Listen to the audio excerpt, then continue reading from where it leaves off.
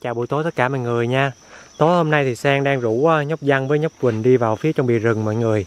Tại vì à, buổi chiều à, ở chỗ Sang có một cái cơn mưa đầu mùa rất là to luôn. Nên rủ hai đứa nhóc này đi vào trong đây để mà soi xem có ếch hay không nha. Hôm bữa thì cái chuyến đi ở trong rừng á, Sang cũng có làm một cái video soi ếch ở trong rừng cho mọi người xem. Nhưng mà đó là cái cơn mưa đầu mùa ở trong rừng. Còn ở ngoài Sang thì đây mới là cái cơn mưa đầu mùa ở ngoài Sang nha. Nên đi vô bìa rừng á, có một con suối cạn mình soi xem ờ, có hay không. Nếu mà có thì à, sáng mai á sẽ sẽ làm cái món gì đó ngon ngon ăn cùng với à, tất cả mọi người với hai đứa nhóc nha. Tại vì à, khá lâu rồi mình cũng không có làm món ngon á. Gì Quỳnh. Trái đâu? Đây à. đây có mấy cái trái gì nè mọi người? Ui nghẹt cây luôn. Trái này thì ăn nó chua chua chua chua này thôi đi Quỳnh ơi giờ sang với mọi người cùng nhau mình đi uh, thẳng vô bìa rừng luôn. Sẽ sẽ hướng dẫn cho mọi người cái cách mà mình uh, tìm con ếch và mình bắt nó như thế nào cho nó dễ nha. Ở chỗ sang thì nó nhiều lắm nhưng mà bây giờ chưa có ra nhiều đâu. Chắc khoảng một hai tuần nữa nha. Đi soi ếch này á sang sẽ chỉ cho mọi người cái cách soi này mọi người thấy uh, mấy cái ánh sáng lấp lánh ở kia không? Đó là mắt của những cái con uh, con nhện con đồ này kia con ếch thì nó cũng vậy. Nếu mà mình rọi đèn à, trúng vào nó thì nó có cái ánh mắt của con ếch đó, nó cũng sẽ dọi lại mình nha. Kia kìa kia kìa nhăn nhăn từ từ từ đứng đó đi hai đứa đứng đó đi đứng đó đi. Đây một con ếch đây mọi người. Tắt đèn đi tắt đèn đi tắt đèn đi. Đến à, anh quay. Đây nè. Đây mọi người thấy à, đèn sáng sáng quá. Đợi xem xíu. Đây mọi người thấy ở kia có một cái à, ánh sáng không? Đó là mắt của con ếch nha. Bây giờ sẽ tìm cách bắt cho mọi người xem. Giang ơi nếu mà anh chụp không được thì cưng nhảy theo con chụp nha. Tại vì à, bắt, bắt ếch này á mình phải nhẹ nhàng thôi. Đứng nó đi đứng nó đi. Đó mọi người thấy con ếch không? Nó đang ngồi chỗ này nè. Đó đó con ếch đó. Đứng nó đi đứng nó đi.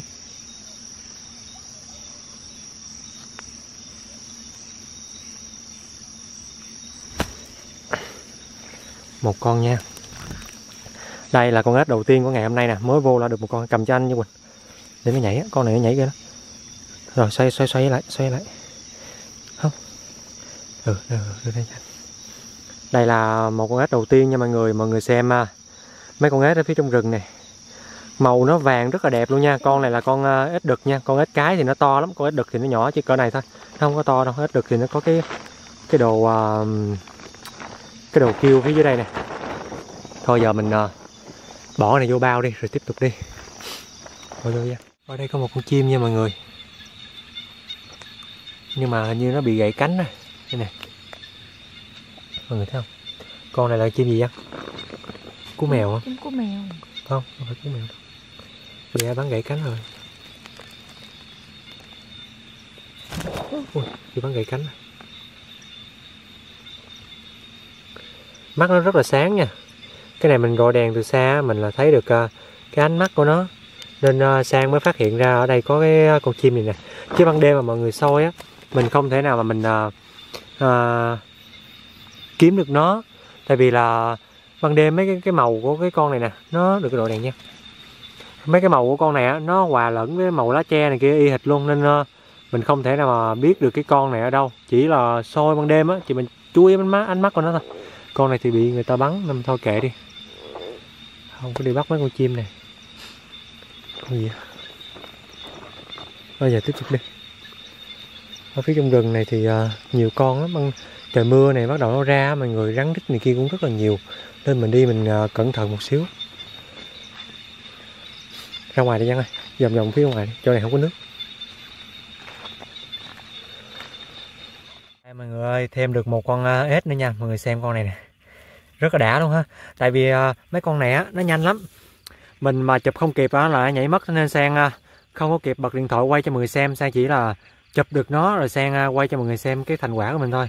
Mọi người xem con ếch này nè. Vàng kính luôn. Con này là ếch đực nha. Đã không? Rồi để xem bắt được một con một con ếch rất là to đây. Đây là một con ếch uh, to nhất trong đám nha cái con này là con ếch cái á, mọi người. Thì à, tại vì trời à, buổi chiều ngày hôm nay á nó mưa chưa có nổi nước nên mấy con ếch này con ếch, ếch đực mà không bự đâu. Nên à, mưa nó chưa nổi nước á nên ếch nó chưa ra nên có lẽ là cái số ếch này á sẽ, sẽ để dành lại đến khi mà mưa thêm một đám nữa sang với nhóc văn với nhóc quỳnh mình sẽ tiếp tục đi uh, soi cho thật nhiều luôn. Mình mới làm cái món gì đó ngon ngon ăn cùng với uh, mấy đứa nha. Chứ hôm nay có bốn con à bao nhiêu đây thì được khoảng à, tầm à, nửa ký. Nó không có to thôi đi về. Giờ mình về nha, tại vì à, trời cũng khá khuya rồi.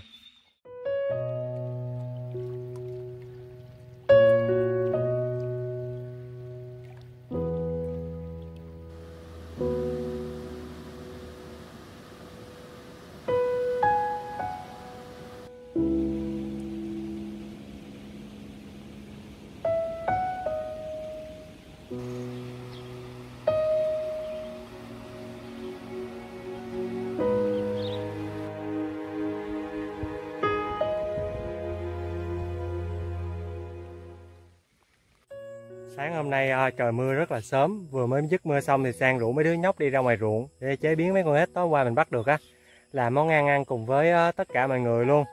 Thì à, buổi sáng băng ngang cánh đồng ruộng này á, có một cái mùi à, là mùi lúa nó rất là thơm luôn mọi người.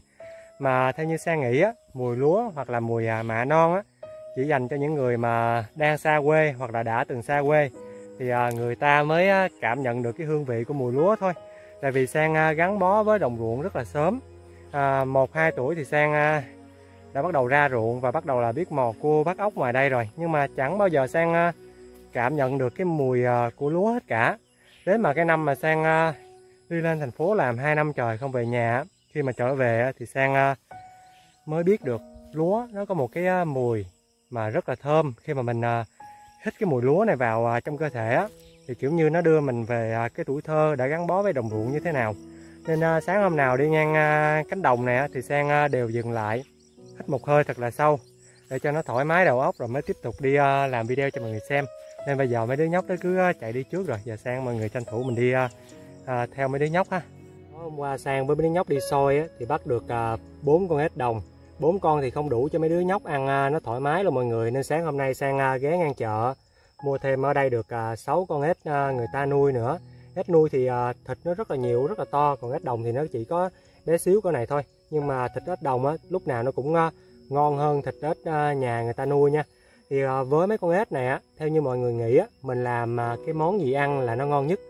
À, với sang á cái món ngon nhất à, tuổi thơ của sang à, với mấy con ếch này á là đi ra ngoài ruộng nó bắt được con à, ếch hoặc con nhái ngoài ruộng á.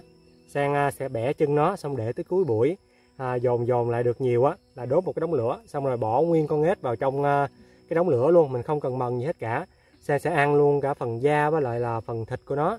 Cái cách này ăn á, thì con ếch nó rất ngọt và rất là thơm. Nhưng mà à, sang quay cái clip đó thì sợ à, mọi người nói là nó không có sạch á. Nhưng mà cái món đó là đúng với tuổi thơ của sang.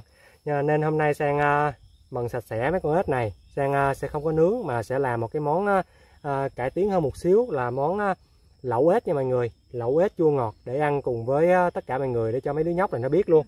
Bây giờ thì sang à, chờ nhóc văn nó nhúm xong đống lửa kia tắt à, cái nồi nước lên. Sang à, sẽ chuẩn bị nấu lẩu ếch nha.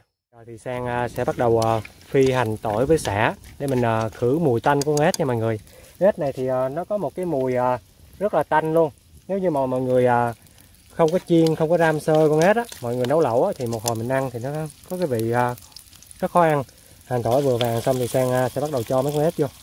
Ui, mấy con ếch nuôi mọi người xem này, to khủng khiếp không con ếch nhà thì nó bé bé cái này thôi, không như con ếch nuôi.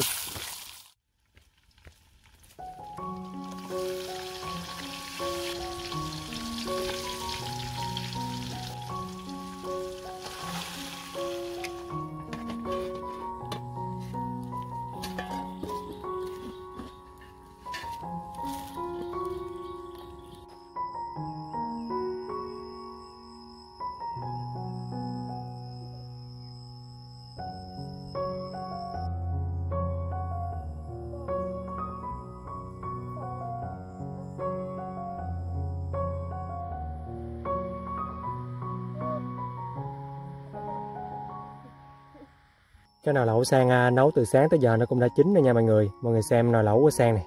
Nhìn là rất là hấp dẫn luôn ha. Có cá viên chiên có tôm có à, mấy con ếch mà mình à, bắt được với lại là mấy con ếch mua.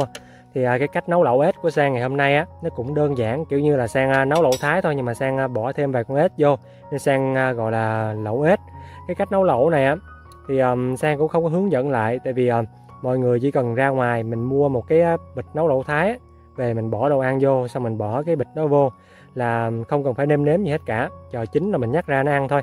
Thường thì uh, nấu ăn ngoài ruộng á, là sang uh, nấu xong sẽ sẽ nhắc nguyên cái nồi này xuống dưới đất và ăn ở dưới. Nhưng mà nấu lẩu á, thì mình phải có cái lửa nó rêu rêu ở dưới cho cái uh, phần nước dùng mình nó nóng mình bỏ rau vô thì uh, nó mới ngon. Nên hôm nay sẽ quyết định là bỏ cái nồi này nè thẳng lên trên bếp lửa luôn cho lửa than nó riu riu một xíu. Mình uh, cho rau vô phía trong rồi mình uh, rau vừa sôi thì mình ăn ở trên à, cái bếp lửa vậy cho ngon ha. Khói thì à, um, trúng ai thì người đó chịu thôi. Bây giờ thì sang uh, bỏ rau vô. Rồi uh, mấy đứa nhóc móc bún hết rồi uh, mình tiếp tục là mình ăn thôi. Vậy là xong nha. Đây là cái tô uh, lẩu ếch của sang nè mọi người. Mọi người xem này. Nhìn uh, hấp dẫn đã ghê không? Ở trong tô này thì đặc biệt một xíu là có tôm nè có tàu hũ có cá viên và có cả cái đùi ếch nữa. Bây giờ thì sang uh, mời tất cả mọi người cùng sang cùng với uh, mấy đứa nhóc này. Mình sẽ cùng nhau uh, thưởng thức uh, món lẩu ếch ha. Đáng ra cái lẩu ếch này phải là gọi là lẩu ếch đồng nhưng mà do sang mua thêm vài con ếch ở nhà nữa nên sang cứ gọi là lẩu ếch nhà thôi. Uhm. quên sang mời tất cả mọi người nha thịt ếch này thì nó ăn ngon nó bổ lắm mọi người. Nhưng mà phía trong thịt á nó có nhiều uh, con uh, con sáng á mọi người. Con uh, con uh, con sáng nó bu theo cái đuôi ếch á. Nên khi mà mọi người mần á mình uh, rửa sạch một xíu xong rồi mình lột cái phần con sáng nó ra khỏi cái đùi rồi mình mới ăn nha. Uhm. ngon quá. Vừa ăn chưa nha vừa. Đây sao mời tất cả mọi người ăn bún với sang ha? Uhm.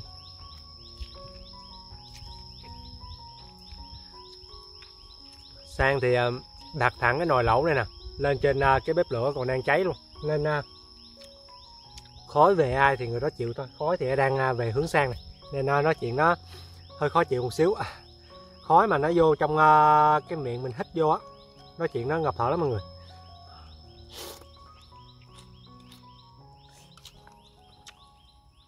Cái vị lẩu ếch của sang á, nó rất là ngọt luôn nha mọi người. Tại vì cái thịt ếch lúc nào nó cũng ngọt hết cả nhưng mà lại cay cay cái mùi à, lẩu thái á.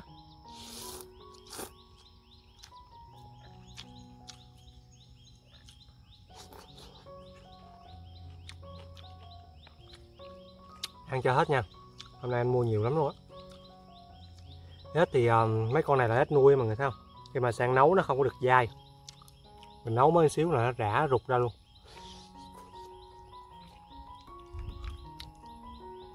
Nhưng mà sang thấy á ếch nuôi thì ờ, thịt nó lại nhiều hơn là ếch nhà. Ừ, ờ, à, ếch ngoài ruộng. Ếch ngoài ruộng thì à, thịt nó ít nhưng mà giá lại rất là mắc nữa chứ.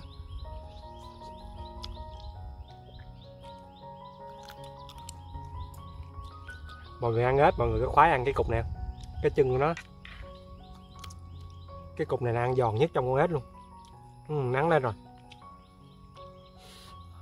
Ngồi ăn xung quanh bếp lửa này mọi người nó vui lắm. Mỗi lần khói á nó qua bên đây xong nhóc uh, thái nó chạy qua bên kia nó né khói xong rồi khói lại qua theo thằng thái xong nó chạy về uh, bên đây. Khói này thì mình uh, không có né được đâu mọi người. Nó thích theo ai đã theo thôi. Nãy giờ thì sang uh, cố gắng lắm ăn gần hết một tô rồi. Nồi lẩu của sang thì nấu nó hơi chất lượng một xíu á. Nên uh, mọi người ăn một tô là toát hết mồ hôi là no rồi á. cái nồi thì uh, còn khá là nhiều còn nhiều không đấy còn ừ chắc nửa nồi mọi người. Nếu mấy đứa nhóc ăn không hết á, thì một hồi thì sang uh, sẽ mang cái nồi này về cho em của mấy đứa nhóc ăn. Mẹ sang thì sang uh, chừa một ít rồi. Bây giờ thì sang uh, có lẽ là sẽ tạm dừng clip tại đây thì nó cũng uh, hơi dài nữa. Nếu mọi người yêu quý sang uh, cũng như uh, những clip của sang uh, mọi người hãy cho sang uh, một chia sẻ một đăng ký kênh ủng hộ cho sang nha. Sang uh, với mấy đứa nhóc á chào tạm biệt tất cả mọi người nha. Bye!